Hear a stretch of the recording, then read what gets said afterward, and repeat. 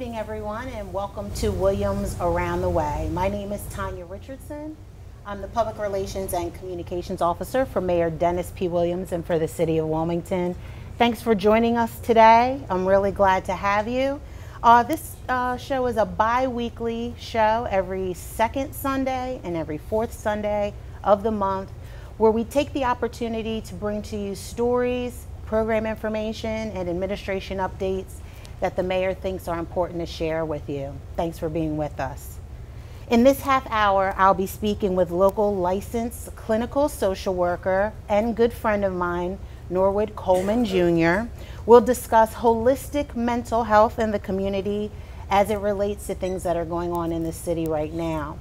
But first, I'd like to review some events from the past few weeks since we were together last. The mayor would like to again offer his congratulations to the organizers of 302 Guns Down, which was a concert and rally that took place in Judy Johnson Park just last Sunday. Viewers may recall that the event leader, Michelina, who we call Mikey DeJesus, came on to tell us about uh, what to expect from the event, and the event absolutely delivered. Uh, several hundred people stopped by the event between 12 and 5 in Judy Johnson Park.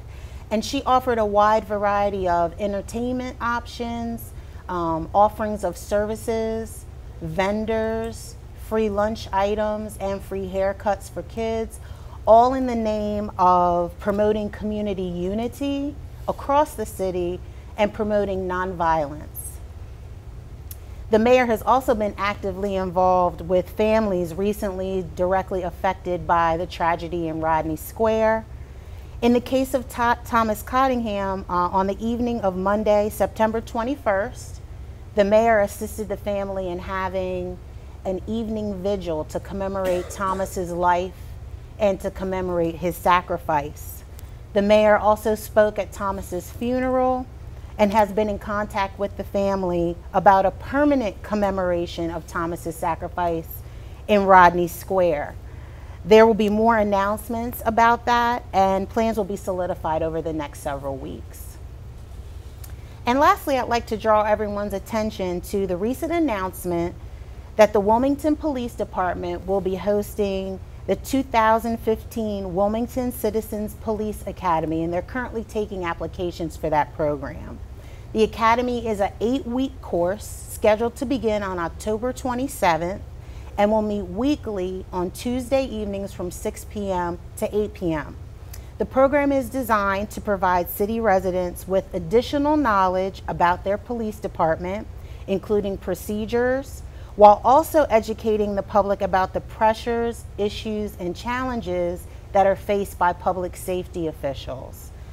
Uh, the program uh, will provide a forum where officers, police leadership, and citizens can build relationships and hear from one another, which is so important. There's no cost for successful candidates, um, and um, you can obtain an application for Citizens Academy by either visiting the Public Safety Building, which is on the corner of 4th and Walnut Streets, or by visiting the city website. Please stay with us over a short break. Next, I'll talk with licensed clinical social worker Norwood Coleman Jr., and we will have a conversation that I like to call Holistic Mental Health 101. Uh, we'll aim to demystify uh, mental health and easily accessible services in the community. It's important information I think on almost anyone could use, so stay with us.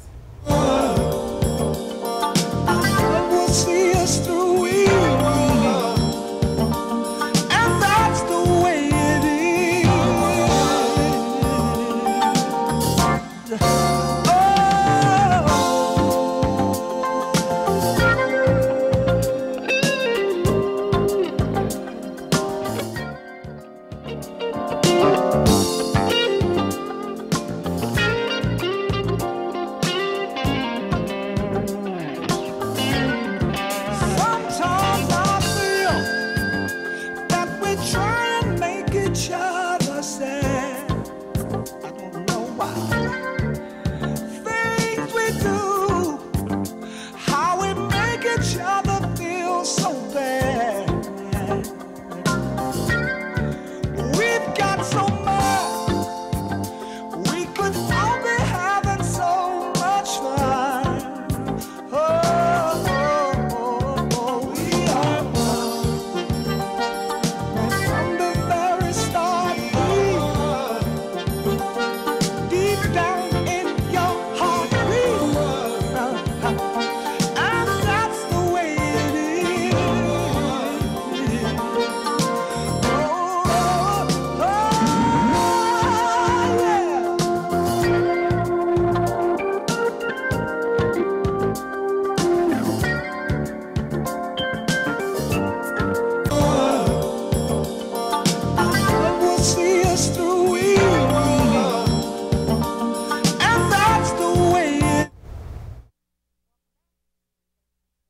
us.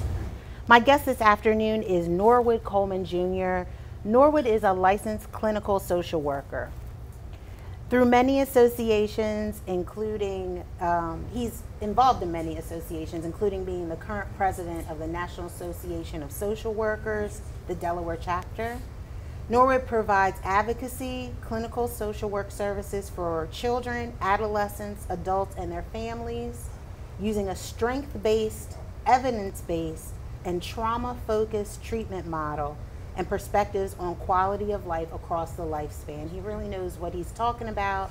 He has lots of experience and he's very connected to the community here in the city of Wilmington. Norwood is also on the advisory board for the National Alliance for Mental Illness, better known as NAMI Delaware. And he is a preferred provider of the state of Delaware for trauma focused cognitive behavior therapy and child and family traumatic stress intervention. And that's a lot of title for an organization that does important, serious work with families and children who have been victims of lots of types of trauma. And on top of that, Norwood is the sole proprietor of Embracing Hope, which is his private counseling practice. Full disclosure, Norwood and I have been friends since, since public school. We went to school together in Red mm-hmm. Clay. Uh, we're both really passionate about community issues and community health and what's going on in the world and how that affects us in our private lives. We have the conversation we're about to share. We've had it several times. Mm-hmm and I really appreciate you being here today. Welcome, Norwood. Well, thank you for having me. Of course.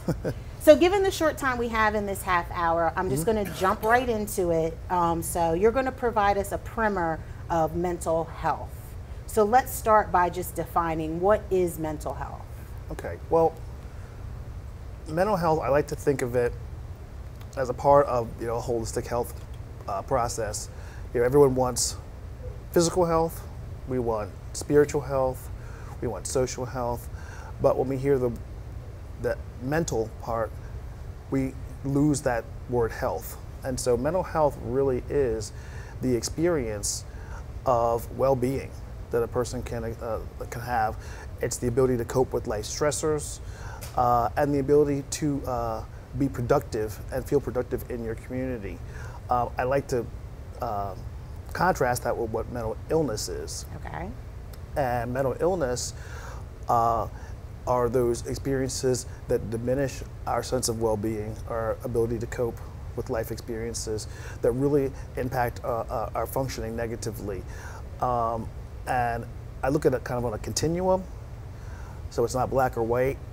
Um, and I give the analogy sort of of um, uh, from physical health, I can have a cold, and a cold, most people know how to treat a cold.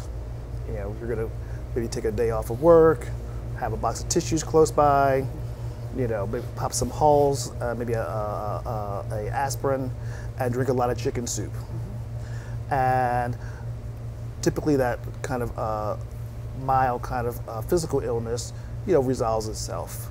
Whereas I might have a more severe illness like for example, heart disease, where my mom, who I love greatly, is not going to be the person that I want to take care of me, uh, uh, my primary care, you know, uh, right. person for that. She'll be a part of my support network, but I want to make sure that I'm talking to the right professionals that really know um, how to address the more severe things. And so, the same thing in mental health is that we can have mild mental health uh, impairment I think we all have, have experienced the stressor of the day or the stressor of the week, maybe.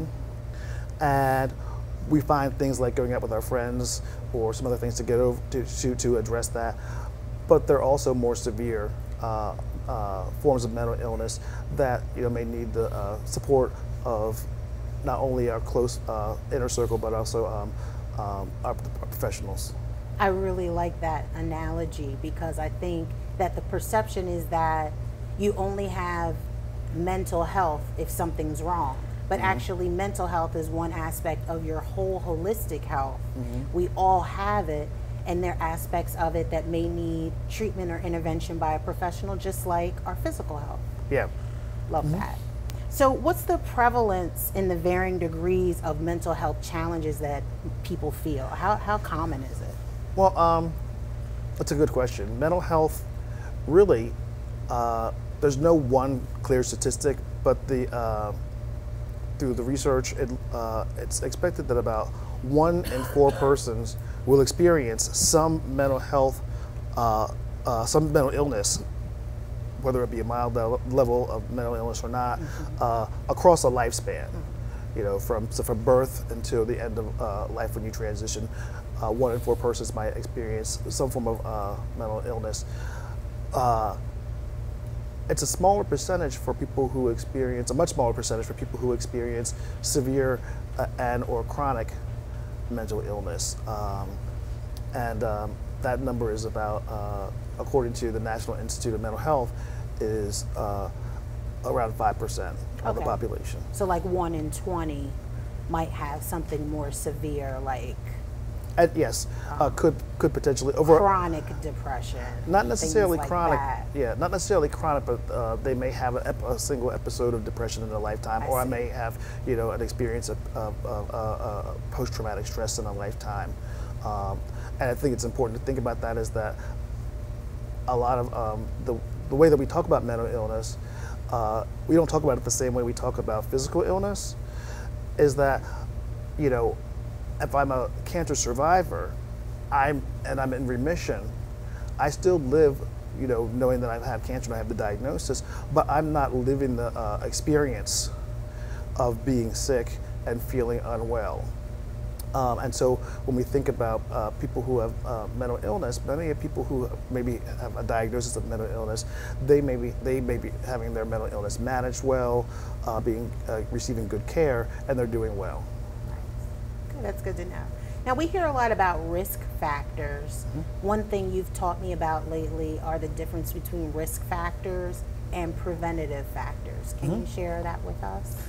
Yeah, and that and, and they are exactly what they sound like. Risk factors are the things that put us at greater risk uh, for, uh, uh, in this case, mental illness. Uh, some of those things might be uh, one big risk factor is uh, having a, uh family history of uh, mental illness. That does not mean that I will develop mental illness, but it can be a risk factor. It lets me know that um, I may be more, my body may be more susceptible. Um, other risk factors include uh, include uh, the environment that you may live in. Um, if I live in an environment where there might be a lot of violence, um, a lot of poverty, and access to the things that I need to get through life every day, then my well-being is not going to necessarily be where it's supposed to be, and I'm, I may not be able to cope with the stressors uh, of the day because they may not be those typical stressors that a person might feel when there's a grocery store and a bank and I, uh, and I have a good job and those kind of things. And so uh, uh, those, uh, uh, those uh, stressors can uh, uh, definitely be risk factors. Um, other risk, uh, on the flip side, um, protective factors, and I think this is really important to talk about. Uh, protective factors are those things that protect us, that keep us safe, that uh, keep us together, really, when things get tough. Uh, support from family, support from friends, uh, perhaps support from my religious community, having access to a community center, uh, having uh, good after school uh, care for my children, um, having you know uh, uh, the services that I need.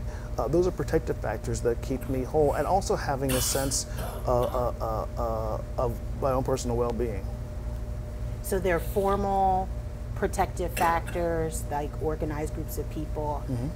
having um, stability in your life, and then there are the informal things too, like family, friends, Yeah. having hobbies you enjoy, having some sense of release and relief from Yeah. from um, day-to-day frustrations and things that make you feel sad and lonely. Yeah, and I think we're fortunate in Delaware. We have a lot. We have a lot of service, and, and, and some of those formal uh, services. Those are the formal uh, uh, uh, protective factors that are really active in many people's lives, like being able to access, um, uh, you know, things like you know uh, mental health services, or be able to get to the hospital, uh, which is a very different experience if, uh, uh, even within the state, uh, from Wilmington to Millsboro, for example. It's a very different experience. I mean, Yes. So we have a lot of a lot more access here, and that is clearly a protective factor, particularly when it's used uh, well.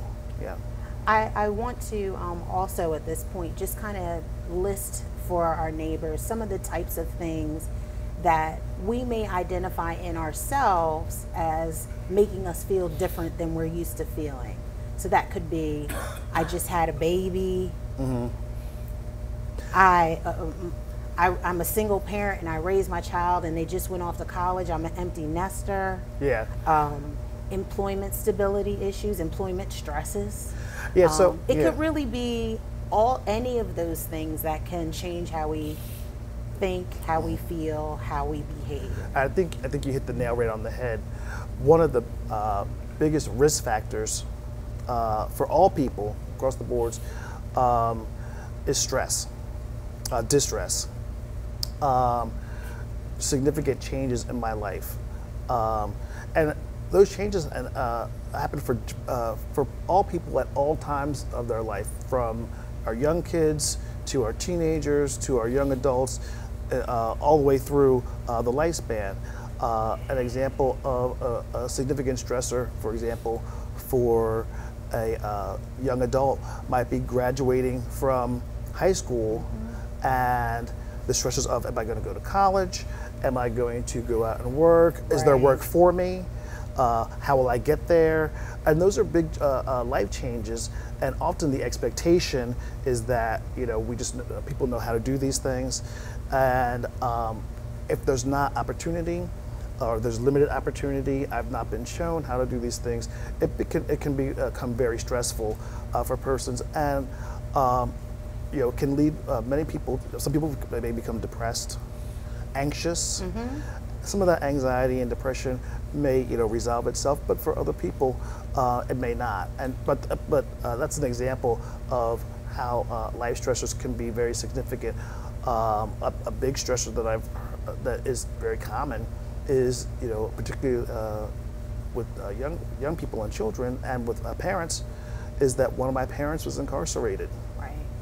So if Yeah. a person finds themselves needing help, uh, it doesn't necessarily require a big team of people or involve a huge process. Mm-hmm. Um, if my colleagues in the booth could are able to post the numbers that we provided, um, see it. Thank you.